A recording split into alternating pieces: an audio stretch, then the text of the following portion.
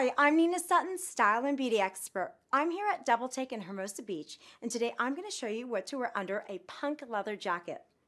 Now, extreme leather jackets like motorcycle jackets and punk jackets are a celebrity favorite. But if you want to wear them at home, you want to think about contrast. So try wearing one over a cocktail dress like this one here so you can make a statement at your next party. Or you can even wear it over a feminine flowy dress like this 50 styles dress so you can feel a little bit more trendy and edgy. And they also look put over feminine flowing classy tops to mix a little bit of sugar and spice. Once again, I'm Nina Sutton and today I showed you things to wear under a punk leather jacket. Have a great day.